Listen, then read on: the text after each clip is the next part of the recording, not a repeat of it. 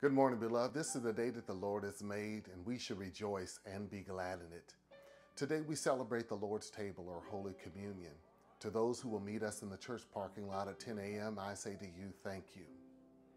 Although we are not observing it in the sanctuary, let us be mindful that 1 Corinthians 6:19 tell us that we are the sanctuary, we're the temple of the Holy Ghost, that we have a treasure in these earthly vessels. Today's message is a very short message and it's a simple message. It's a message of encouragement. In some circles, we call it a homily. It's found in Romans chapter number 8, verse number 1, and it reads, There is therefore now no condemnation to those who are in Christ Jesus, who do not walk according to the flesh, but according to the Spirit. The story tells of a little boy who was about seven years old he decided one morning that he was going to do something special for his mother and his father. He decided that he was going to make them pancakes for breakfast. So he went to the kitchen, and such as not to make much noise, he crept past his mother and father's uh, bedroom, and he was determined not to wake them up.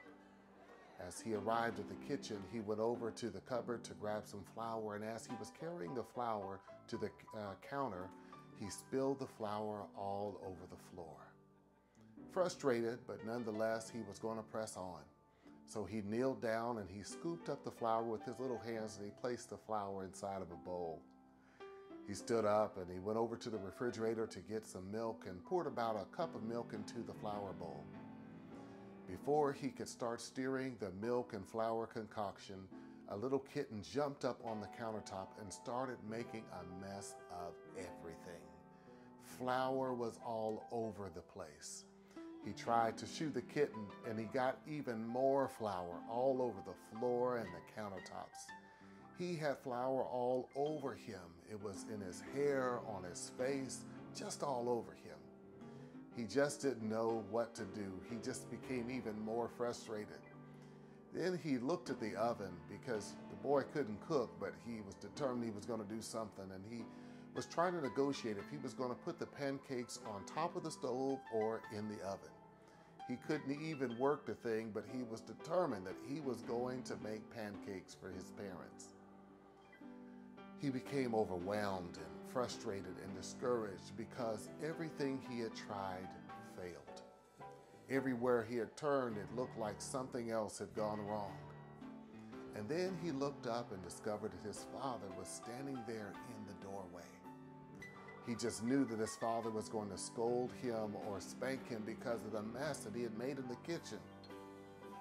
But instead, his father uh, didn't choose to scold or spank him or say anything ugly to him. His father just looked at him and walked over towards him picked him up and wrapped his arms around him until the flour that was on the little boy was now on the father. This boy is just like Paul in Romans chapter 7 when he said, When I would do good, evil is always present. I really am trying to do right and I, am just trying to do what is good, but evil always seems to get in the way. Some of you know about this type of situation you tried the best you could, you tried to do what you thought would be the right thing, but somehow evil flurs its ugly head. You thought that there would be punishment for your sin, punishment for your failure, but instead God chose to come by your side. God chose to pick you up and to get some of the mess that was on you on him. And he lets you know that there is therefore now no condemnation. Beloved, He loves you and He participates in fixing your problems. He's there with you in your pain to tell you that there is no condemnation. So don't give up. Don't give up today, tomorrow, or the next day. Just keep on making pancakes if you make a mess of your situation in the process, it's all right. If you drop something along the way, it's okay. If the cat gets some uh, uh, batter, get batter all over the place, just keep on making pancakes because God understands what you're trying to do.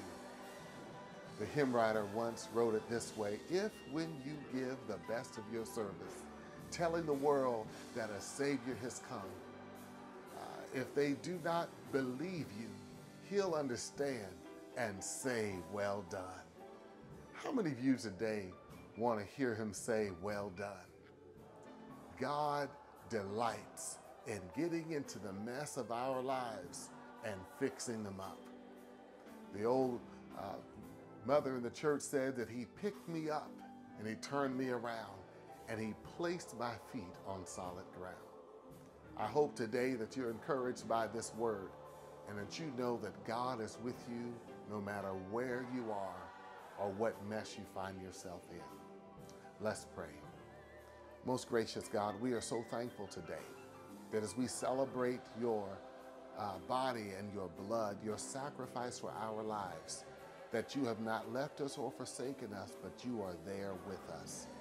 That you didn't just get thrown into our situation, but you chose to leave your Father's side and walk alongside us to get into the mess of this world and rectify men unto your Father.